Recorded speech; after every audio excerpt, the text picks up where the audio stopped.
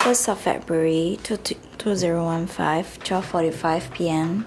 Okay, this hamster comes in, it's a female or male, we don't know yet, but uh, you want to lift up and see? It comes in with a complaint of a swelling below, uh, below, so we show the swelling, we show to the camera.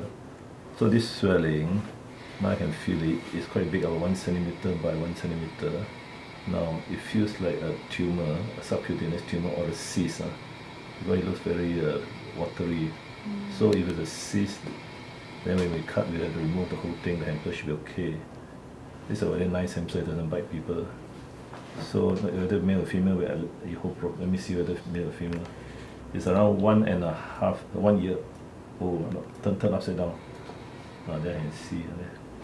So we can see that uh, whether it's male or female by the there's no testicle oh it beat me. Mm-hmm. Oh, okay I put down first okay finish. So surgery will, will be done huh? Mm. so in the meantime I put back inside here first mm-hmm. in case it falls down from the floor mm. okay, so coming about 4 4 p.m.